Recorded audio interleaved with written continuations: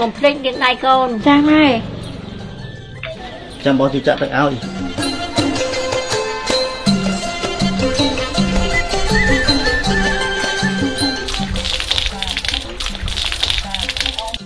ណែម៉ែវា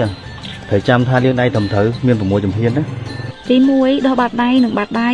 ទី2ដោះខ្នងដៃទាំងសងខាង ទី3ដោះចន្លោះម្រាមដៃទី4ដោះក្រញោដៃសងខាង